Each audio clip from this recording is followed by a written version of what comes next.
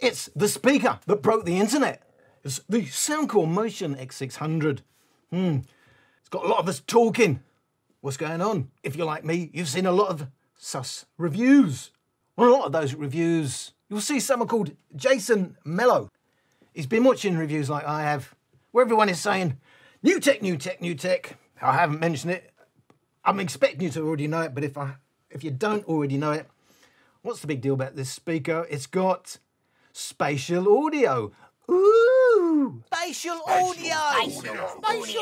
What's spatial audio? Well, it's where they're trying to go beyond the normal stereo image and make it sound like it's coming from all around you, including the back of you, almost like having headphones on when you listen to binaural recordings. Of course, we know it's not really going to do that, but the thing is, they've been saying it's new tech. And me and Jason have been saying it's not new tech, it's not new tech. Jason has been saying they're using crosstalk cancellation. That's something that dates back to the 1960s. 35, 23, that's 58.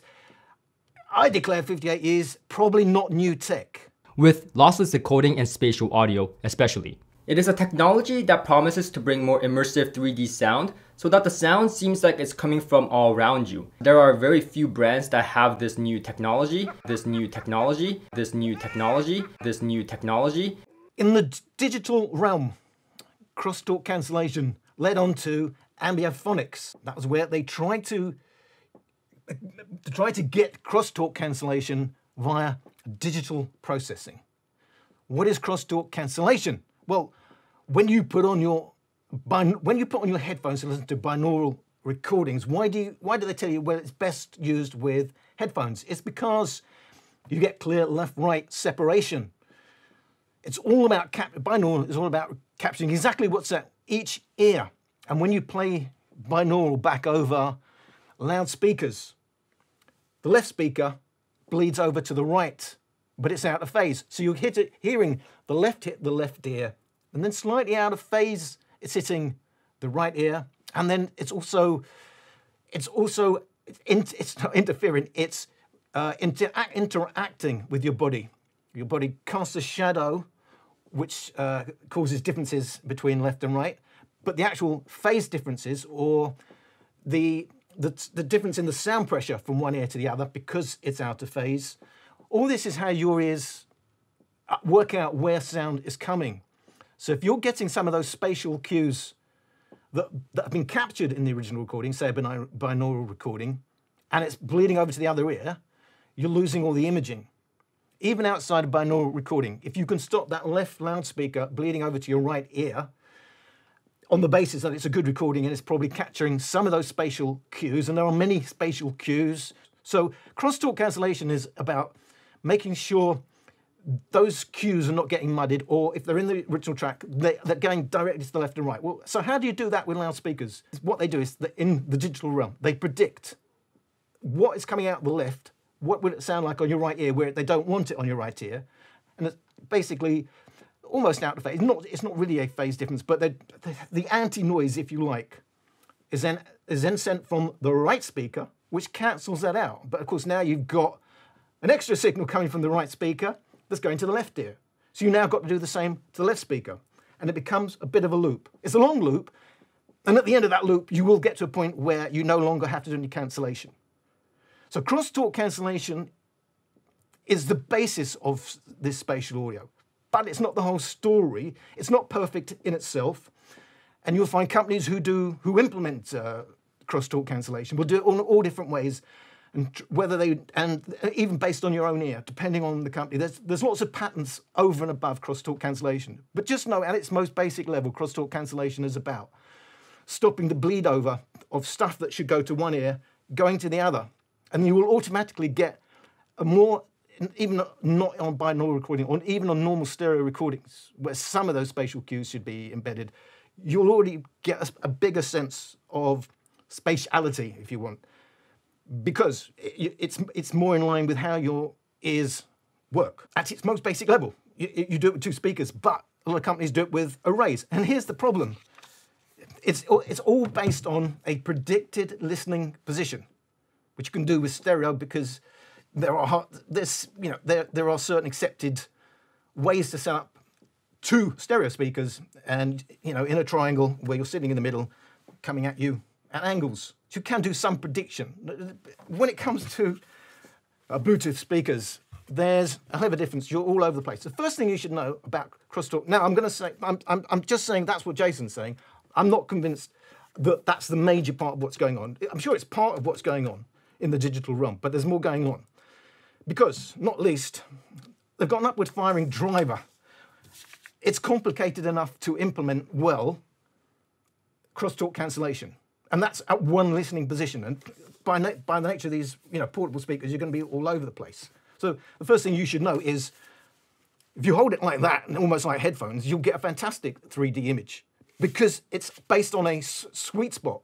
Once you start moving around a little bit, that's why they use arrays to predict how your head is moving. You'll even find them where they'll, they'll use cameras to track your head because it's very, very precise and it's very, very complicated.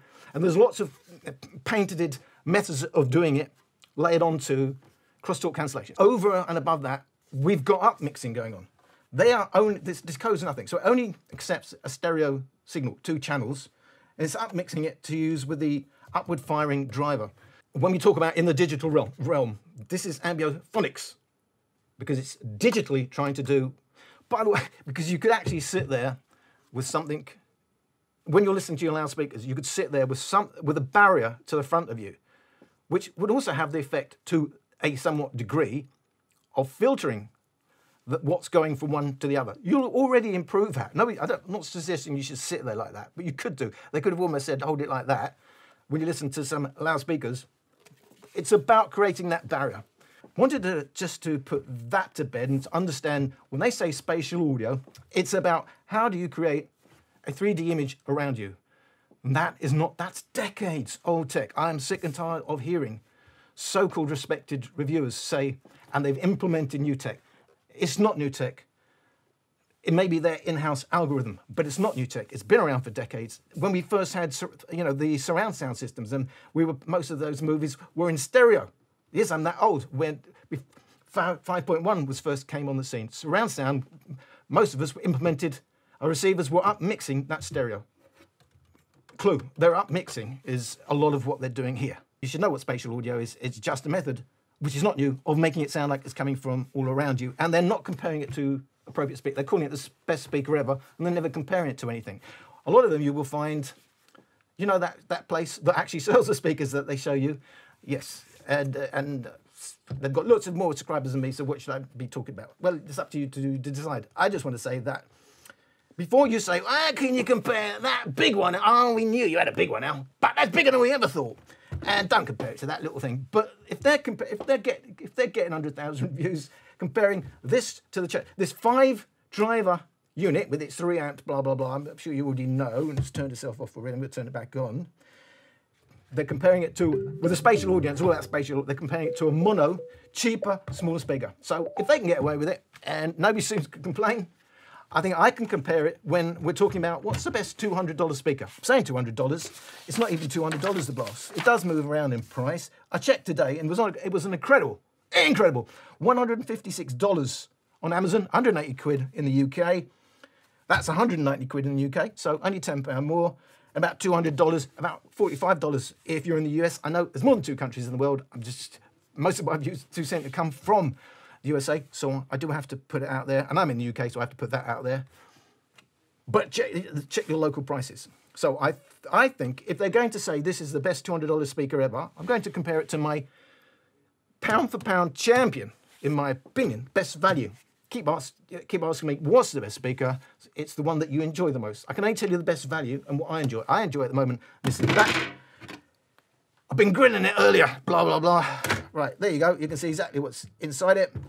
So what was I saying? that completely threw me. I'm comparing it to my $200 champion. Then you tell me who you think you should be listening to as reviews. You can go on the other channels where they're it's the best ever speaker. They're only comparing it to nothing or the Charge 5. Or, as we saw with that geezer, Ah, I mean, it was great comedy. Um, he was sat there. I don't know what keyboard it was. I know uh, Mark Winston said, was it Casio? I've got no idea. I didn't take that notice. Do you know why? Because I was trying to work out. He was sitting at his keyboard, this joker. He had seemingly had that hooked into auxiliary. He had that about another three foot away from that. So that was like twice as far from that. And it looked like that was on auxiliary, to be fair. But I asked him, of course, he, no, they never reply.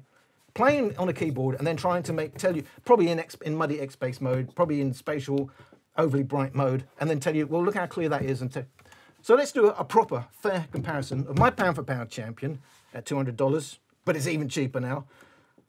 Their pound for pound champion, best ever, in fact, they say at two hundred dollars. I've already explained why it's fair, even though there's a different size, a different in price, a different in size, because apparently anyone comparing to Charge 5 thinks it's. In fact, even on my comments there, people are talking about Charge 5. I'm playing this in the mode everybody seems to be playing it in. What's that, Al? Well, it's in their room. No, it's bass up on, spatial audio on. Just know, for me, I find it's very easy to overdrive the bass on this other people say it plays absolutely clean because no speaker plays absolutely clean. That's very, very silly. Every speaker has harmonic distortion, whether it's the drivers, the amp, blah, blah, blah. There's distortion. There's harmonic distortion. Run, run, run when you're hearing somebody, so called respected um, reviewer, tell you it has zero distortion. That's a huge red flag. So they're playing it in that mode. I'm going to use that mode. And then I'm going to use the custom mode that I use when I listen to the Tribit Stormbox Blast. It's not perfectly flat, but it's certainly more neutral than their music mode and their X-Bass mode. And I've kept it fair. I could have tinkled, tinkled, sounds naughty, could have tinkered with it before this. I didn't. You've seen my post on Instagram. It is the EQ I've been using, so I didn't try and improve it, but it is my, so you, now, the next thing you're going to say is, blah, blah, blah, blah, well, yeah, put that one into custom EQ mode, and that one is, bang. well, that's the mode they're saying is the best ever. So why would I change it? That's the mode I listen to. So I'm just allowing you to make a judgment on whose judgment is better. Those reviewers uh, who are telling you that, or this reviewer who's not telling you that and saying, well, here's a fair comparison, in my opinion, between these two speakers, and you can tell me then where you think this Motion X600 lands. So, how many days we've been sitting here? All right, get on. Okay, so a straight, first of all, a straight on-axis comparison. So you, that's in its sweet spot, remember? That's in the sweet, spot, because as soon as you're, you're off axis, it doesn't know where you are, there's no way of tracking, you're going to lose that imaging. But on axis, on axis, let's have a listen to the two of them.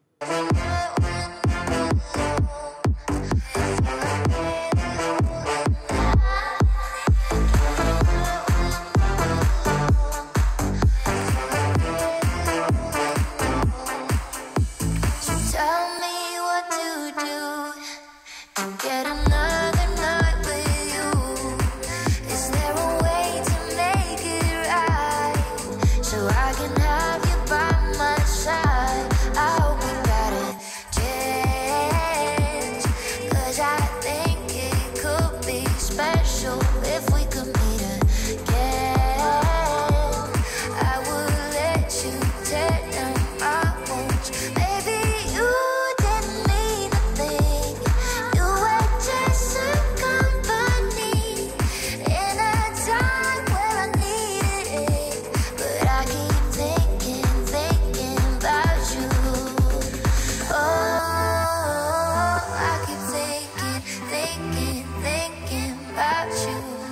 don't need me to tell you the biggest difference between these two speakers is the bass. It's all the bass, 300 hertz down, dominated massively by the Stormbox Blast. There is a dip, 5.5 kilohertz, which is a signature of my Stormbox Blast. The 8 to 9 kilohertz peak of the Motion X600 is one of its signatures. It's a boost. If you don't believe me, there's the original track overlaid. You may have been thinking, oh, well, the Stormbox Blast is massively boosted in the bass. It's actually in line with the original track, slightly boosted, but not massively. There is a dip in the original track around 3 kilohertz mark. We do have a dip with the blast, a little bit excessive compared to the original track, and that 8 kilohertz peak for the Motion X600 you can see is a big boost. But for me, the one that's in line with the original track is a Stormbox Blast, not least because the X600 simply doesn't have the bass to do justice to a track, clearly demonstrated here. Now, I said it before, say it again it is very easy to fool self-declared audiophiles. Yeah. I'm talking about self-declared audiophiles that in my opinion, are not really, rather than people who have really have good ears and listen on true high-end gear. And they know what a flat frequency response is. I'm talking about those self-proclaimed audiophiles who say they like a neutral sound, not a basted boost, and nice and just neutral. And they are the most easy to fool, and it's never a neutral sound they're listening to. That's what we've got here. We've got a lack of true bass. It sounds, I know you're saying to yourself, if you're one of those people, you're saying to yourself, and he said it again, I hate this geezer, I'm going on the comments, I'm going to say every other channel, don't know what talking about. You're going to say, that's a boosted bass, and that's got a nice natural bass and a nice natural sparkle. The truth is, that's a, that's a bright speaker. It's on an upward slant because he has anechoic. It lacks bass, true bass. It's got a bit of mid bass push, but I find that easily overdriven. And what they call detail is just bright, but they automatically, so a lack of bass and a bright sound with enough mids, they automatically say it's a neutral speaker. And it isn't. So I bet you there's people at this point saying, that sounds natural, that doesn't. And I say to you, that's not true. It's not entirely neutral. I already said I, could have tinkered with this and I didn't. I've left it in the, how I did it ages ago and I haven't re haven't done it again, haven't re-EQ'd it. Why? Because I actually quite like it like that. It's not a perfect speaker. Mine has 5.5 kilohertz dip. It's not tragic, but it's there. The bass, I kept true to the spirit of the speaker. It's a slightly overdone bass, but not by much, not as much as you think. But yes, this is in its sweet spot. It can't do the imaging of this speaker. You can hear this sounds nice and surrounding and bright, where that sounds flat because it's not having, it's not doing the processing that's going on. And I think part of the issue is that you hear that processing. It's, you know, it, those artifacts do come through. That will sound flat by comparison. And you may think it's a boosted bass and maybe slightly dull. I'm going to now let you hear both these speakers against the original track. I want you to know, when I record these speakers, it's with minimal room influence. So it's it's all, almost quasi-anechoic, but you'd lose a lot of imaging if it was completely quasi-anechoic. So there's some room influence, but very, very little. That is the only way you can directly compare to original track. Because if you, if I record it like most other channel, in fact, every other channel that I'm aware of, that does it, that at least records properly and not with a shotgun mic like these idiot reviewers are doing. Shouldn't have said that. Am I going to edit? I don't know. Maybe not. No, because I'm thinking Patrick Shambles. When you record how they seem to be recording, they're getting a hell of a lot of the room in there. When you play your tracks from Spotify, whatever you're doing, and then you put it over your headphones, that headphone is layering on its its room response, whatever it thinks is going to be a nice room response. What I'm saying is, when you listen to head to to your tracks, loudspeakers already will automatically take on your room response. They're in your room through loudspeakers. Headphones will take on the headphones response. But you can't layer response on top of response, which is what will they do when they compare to original track. They're taking their recordings that already have the room influence in them, and then they're against the original track, which has no room influence, has one layered response on either the room or the headphones. But you're doing it twice. You cannot compare like that. You can with my recordings. You probably don't believe a word I'm saying, and you probably sodded off already. I don't blame you. 20 minutes in. This, every time I sit down there, I go, less, less preamble. But anyway, just know this is a legitimate way to, an accurate way to compare original track to the recorded track. It's the only way to do it. Have a listen.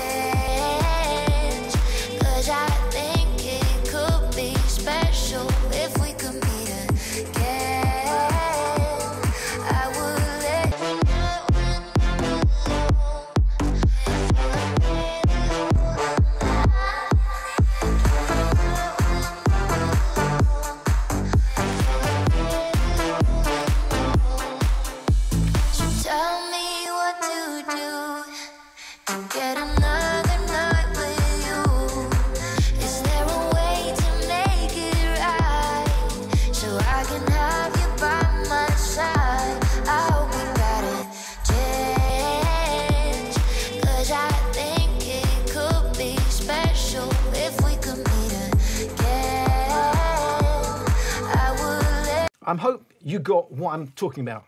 That's not a boosted bass, tiny bit. And it's not um, completely dull. That is mostly in line with the original track. That's nowhere near the original track. What you do get, because of its spatial audio, and it's recorded on Axis at its sweet spot, which you're very unlikely to be in most of the time, you do get that that ambience. You know, that it's it's bigger than the actual speakers. There's more going on around you. The actual uh, audio is not accurate. It's thin, brittle, overly bright, and it's not a lack of bass. Well, it is a lack of bass. They say it's just a nice bass, and that's a boosted bass. I've just demonstrated that's actually the that's actually the most accurate bass, and that's a complete lack of bass. That's my demonstration of why some of those so-called respected. It, it shocked me what some of them have said. Have they sold the soul? I don't know. Not everyone. There are plenty of honest reviewers out there. Danny Pops. I just saw his uh, last um, his last review, his, his, last video. What else would I've seen? I'm not stalking you. Um, compared it to proper speakers, is the, this new orange thing, the uh, Marshalls and stuff. And he said that, and he liked that so much when I heard it. And now, just remember, just remind you, I never said this is a terrible, terrible sounding speaker. I said it sounds really nice. But once you get past the novelty of spatial audio and being in that sweet spot, you just hear what's wrong. For me, maybe your speaker sounds different. You know, there's, there's, some of us complaining about very bad bass distortion, and some people saying it plays absolutely clean. Are there different versions out there? I seem to be on a different firmware to everybody else. Bear this in mind. What I want to demonstrate now is if you're a self-declared audiophile, one of the things you should be, uh, you're probably hot on, off-axis response. And this is spatial audio, and we're saying, me and Jason have been saying, got to be in the sweet, once you're off that sweet spot, and don't forget, it's going to work, not, does, does, it's not that it works best with spatial recordings, it doesn't decode anything. But as long as the record, stereo recordings, well done, will already have spatial cues eh, embedded in, and that's what it will help release. So better recordings will sound better. So not only does it, is it recording dependent, uh, once you're off axis, you can forget it. I'm going to, these are now recorded at 45 degrees. And if it's about off axis consistency, consistency, you can tell me which one you think you prefer.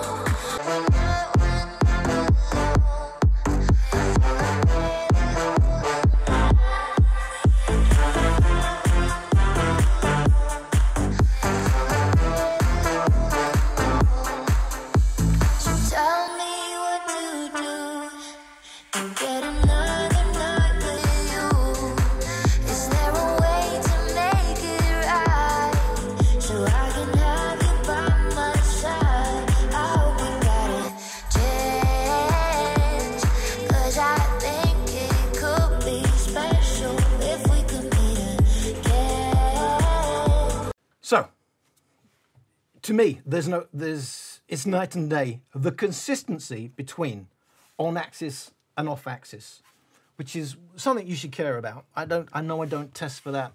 There's a limit to what I can do. But it does matter. I just want to demonstrate when you're being told this is the best speaker ever and spatial audio is the greatest thing since sliced bread. And by the way, when they first had sliced bread, what did they say then? Uh, maybe they said it's the best thing since the Motion X600. I don't know. Anything's possible from what I'm seeing at the moment on YouTube. Just know, I've forgotten what I'm saying. Yet again, that's brilliant. Basically, that you've got to be in the sweet spot, just like Jason told you. When you move off, off axis, that collapses. You lose the novelty of the spatial audio. You hear a lot of what is wrong with the response, which we've already showed, even on axis, is not really true to the original track. This is far more consistent on and off. What you are probably telling me is boosted bass. Isn't that's what the original track sounded like? It's just that you're a self-declared audiophile. Look, I'm not I'm not knocking any of my subscribers. I'm just lightheartedly trying to bring some reality back to stuff that has become fables on YouTube and just gets accepted now, and it's it's really not true. So, for me, you you, you decide, look if you've bought the Motion 600, and I know a lot of you are telling me you think it sounds sounds fantastic, and that's fine. You've only got to like what you hear.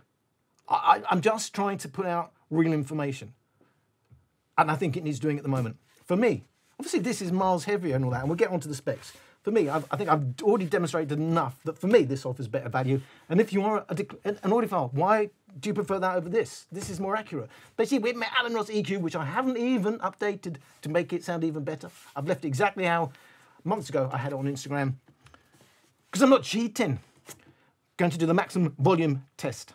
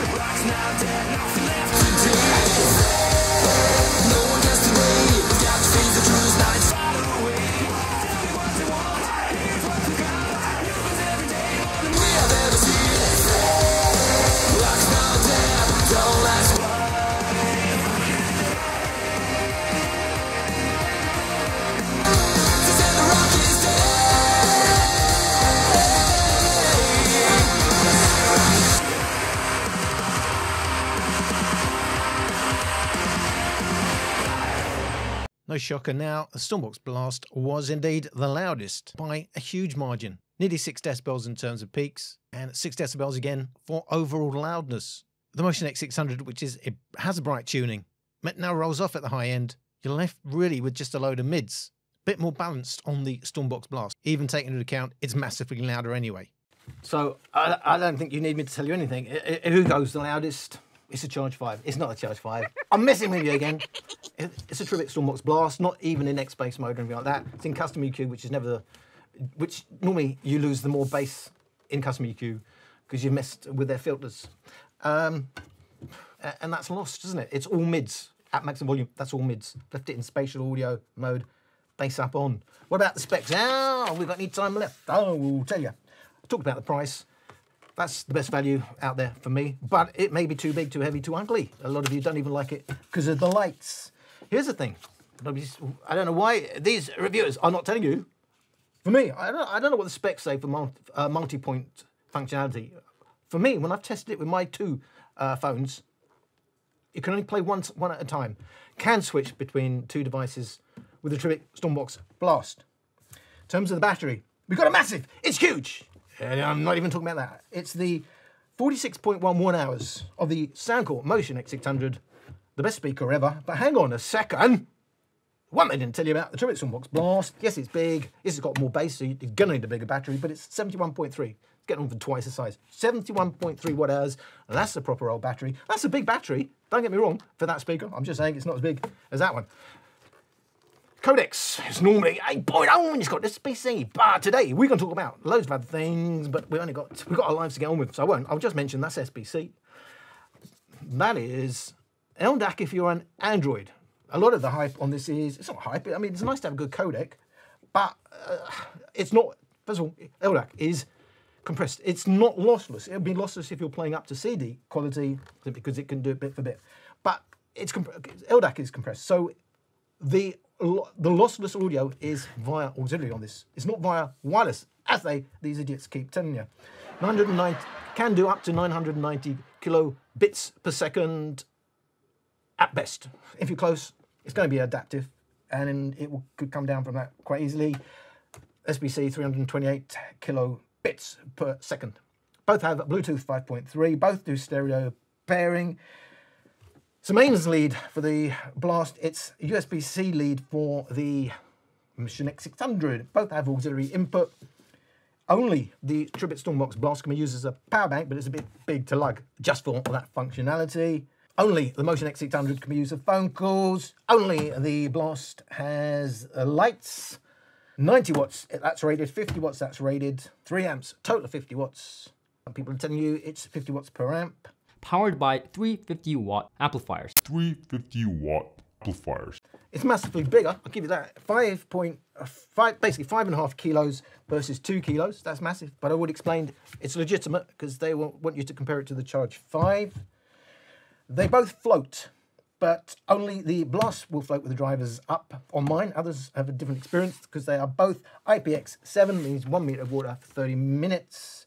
So we've got the five drivers. We've got a fif- uh, 50 millimeter upward firing driver. We've got two 60 millimeter woofers, two 27 millimeter tweeters, one passive radiator on the back, passive radiator, passive radiator, woofer, woofer, tweeter, tweeter. That's 107 millimeter, the woofers, 25 millimeter, the tweeters.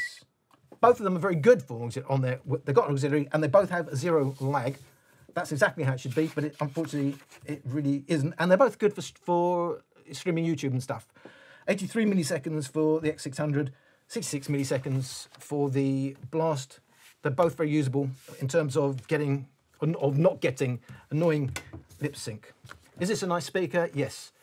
Depending on your ears, you you will find that really nice for the rest of your life, or for 10 minutes, as in my case, you get past that novelty, you start moving off axis, and anyway, you know what the track should sound like. Um, I mean, I mean, if, if, if you don't have to have other uh, speakers, flat headphones, listen to the original track, then listen to this, then tell me uh, which one uh, sounds closer to the original track. So I don't want to get off thinking, oh, he's just hating on the Motion 600. No, I, I'm not hating on it at all. That's really nice. It's really weird holding it like that and having everything come almost like a headphone experience. That, you know, if you're in that sweet spot and that right, up against it like that, and you're not getting any more bleed over. As I said, Jason says it's all crosstalk cancellation. There's no way that's all crosstalk cancellation. It'd be impossible uh, for these two little narrow speakers to stop bleed over to each ear.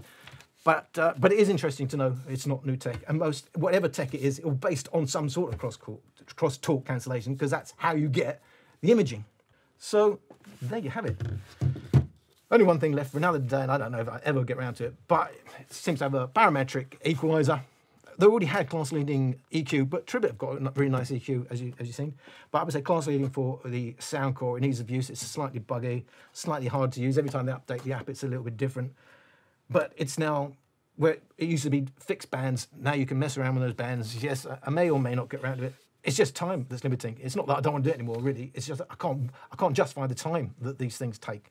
I don't just sit there and, and do it by ear. I mean, I, I start by trying to get it, tune it as flat as, as possible, and then work within the limits of the speaker to how it should sound, in my opinion. Blah blah blah blah blah.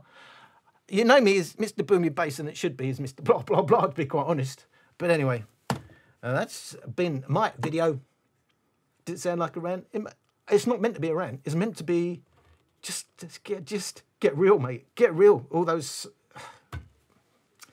I don't know what to call them anymore because there's lots of honest people. I'm not saying if someone says they like this speaker and it's fantastic and it's the best speaker, that makes them dishonest. I'm saying the ones that are actually giving you bad information, not comparing it to others, it's clearly something else going on. Mr. Uh, Ascended Tech Ninja is due to get two, I believe, Motion X600s. Uh, that would be interesting to hear uh, what he says. Please check out his channel, uh, Mr. Tech Tech Audio Audios. I'm not sure if he's. I think it actually said he is getting one. So that's another two honest reviewers to to definitely check out, and I will personally vouch for those geezers. Thank you for watching. I'll see you uh, again. What the f was that?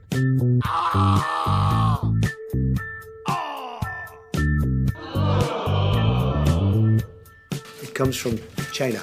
China. My speaker's got deep bass, balanced mids, and a bright high. Yes, mine sounds exactly the same.